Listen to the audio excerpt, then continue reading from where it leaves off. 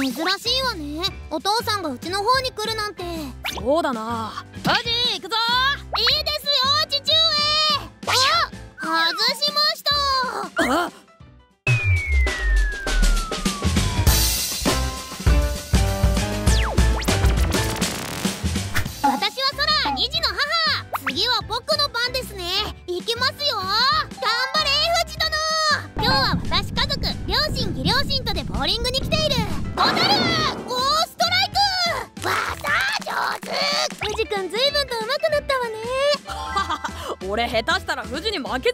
ボーリング歴3年になりましたからねよし次はじいちゃんの番だなじいじ頑張ってくださいこの両家揃ってのボーリングは半年に1回ほどの恒例となっており私もやりたいそのボールは霞には重たいなもっと軽いの探しに行くかうん両家の親睦も深まるいい行事となっていたおーついに富士に負けちまったなじいじ次はちゃんと練習してきてださいね。なんだと？この小生意気小僧が。そしてこのボーリングの後はお邪魔します。いつもすみません。どうぞ散らかった家ですがみんなでうちの実家に泊まるというのがお決まりコースだった。なぜ義両親もうちの実家に来るかというとわさびばあば本読んでください。どれどれあら分厚いわさにかすみ今日は鉄じいちゃんと一緒に出るか？うん大丈夫。大丈夫とは？孫とお泊まりがしたいからで。うちのマンションは狭いからソラさんたちに泊まってもらうのは難しくって。助かりますわさ。うちは元農家で部屋数だけはありますからね。その代わり古いですけどといった事情もあった。富士じいちゃん釣りに行くけどお前も行くか？もちろん行けます。釣りに行ってまいります。藤君は本当仲がいいわさね。恋人みたいにいつもべったりですね。かすみは鉄じいじのことが好きなんだよな。うん普通だよ。普通。いやー負けた。じいじ次はしっかり練習してきてくださいよ。何を？また生意気言いよっても息子の富士とうちの父は特に仲が良かった。そんなある日珍しいわね。お父さんがうちの方に来るなんて。そうだな。久しぶりに昔の友人から連絡があってな。30年以上ぶりに会ってきたぞ。今日はそのついでだ。へえ。富士行くぞ。いいですよ父上。あ外しました。そんでお父さん最近はお酒控えてるの？お母さんが心配してたよ。あまあな。あ ボールが道に出てってしまいました。富士危ない！お父さん！じいじ大丈夫ですか？狭い道をかなりのスピードで飛ばしてきたトラックにはねられ父は帰らぬ人となった。じい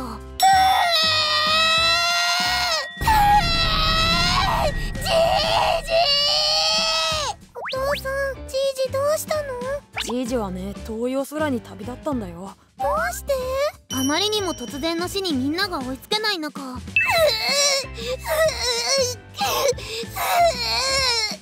士一番悲しんだのは息子。ご飯は食べてるの？富士は。うんちょっとだけね。少しずつだけど食べるようにはなってきたよ。かわいそうに。目の前で跳ねられたの見てしまったからショックが大きすぎるわよね。そうなの。時間が解決してくれると思ってるけどあまりにもひどかったら病院に連れて行かなきゃって思ってるよ。そうね。元気がなく痩せていく息子を見ているのはとても辛かった。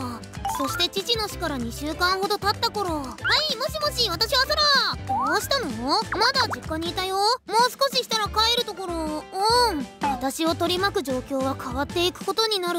ちょうどよかった。もしお母さんに聞けたら聞いてほしいんだけど。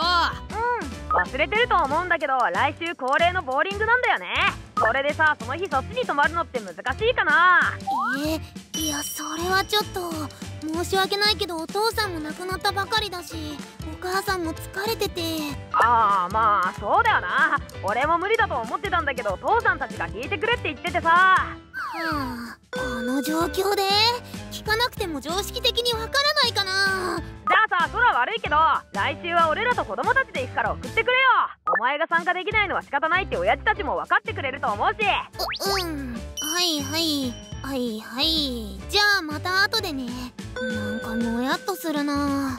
そりゃいつまでも悲しんでられないとは思うけどさ。うちはうちでまだやることあって大変なのに。どうしたの？ソラなんでもない。その夜母上ちょっといいですか？うんどうした？じいじに手紙を書いたんですがどこのポストに入れたら届きますか？無事ポストじゃなくてじいじのお仏壇に置いてあげればじいじ読めると思うよ。本当ですか？うん来週一緒にお線香あげに行こうか。はい。母上僕のせいで僕のせいでじいじが僕がボールを取りこぼさなければ僕が死ねばじいじは富士それは違う。あなたが死んでたらじいじがどれだけ悲しんだと思うの。じいじは今あなたが無事に生きてて嬉しいって天国で笑って見守ってくれてるのよ。だから自分を責めるのはやめなさい。じいじに怒られちゃうわよ。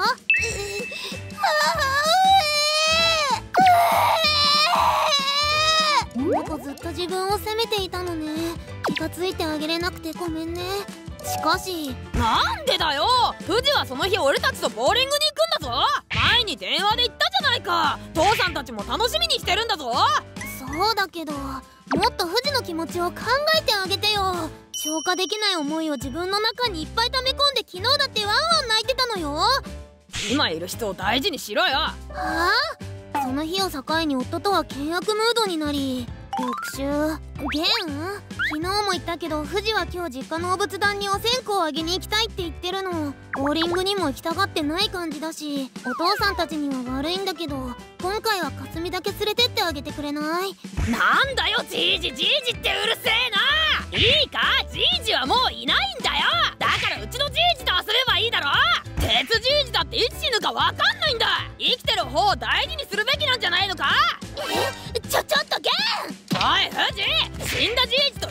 じいじどっちが大事かわかるか？なあ。ちょっといい加減にして。子供になんてこと言うの？富士震えてるじゃない。うるせえもういい。俺とかすみで行ってくるから。お前の送迎はいらねやだーかすみも家にいる。えよ泣くなよかすみばあばとじいじに会えるんだぞ。ボーリングも好きになっただろ。やああもううるせえな。そしたらお前も残れよ。俺だけ行く富士に改めて話を聞いたところあの事故があった日僕がもっと注意してればキャッチボールなんてしたせいだ。キャッチボールなんてしなければじいじは。ちょっと待ってくれよ。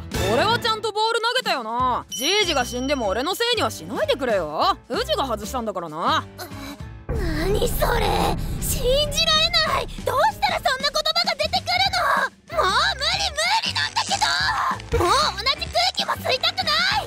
その夜。はい。こんばんは。どちら様ですか？空かゲンだよ。今朝はちょっと言い過ぎた悪かったな。そんでさ親父とおふくろが今日かすみたちに会えなかったから会いたいって言ってて連れてきたんだけど。は申し訳ありませんがお引き取り願えますか？あ？なんだよその態度。せっかくわざわざ来てやったのに。あなた今うちの実家がどういう状況か分かってる？それに。分かってるよ。でもそれとこれは別だろ。別に泊まってくわけでもないし一目あったら帰るから。無理です。なあ。ソラさんちょっとでいいからね。なんだケチだな。ケチでも何でも結構です。お帰りください。なんだよ偉そうに。別に減るもんじゃないからいいだろうが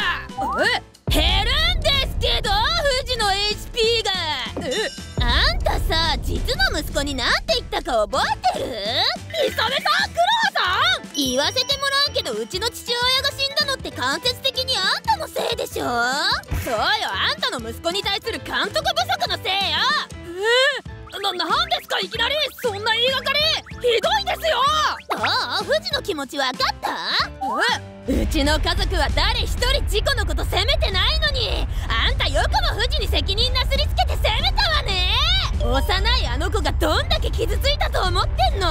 普通だったら昇進してる息子や妻のフォローするのが先じゃない？なのにあんたと来たらボーリングボーリングって。いやそそれは。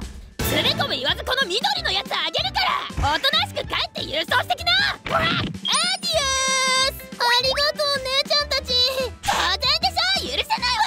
また何かあったらいつでも呼びなさいよ。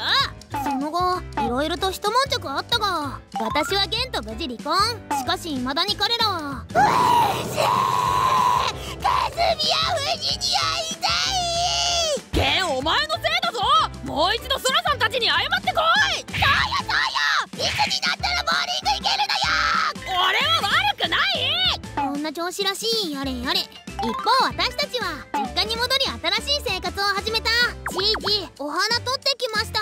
今日も見守ってくれてありがとう。じいじお花どうぞ。富士もだんだんと回復してきて安心している。ありがとうな。また釣りしような。天国で待ってるぞ。今なんか聞こえた。きっとじいじが喋ったんですよ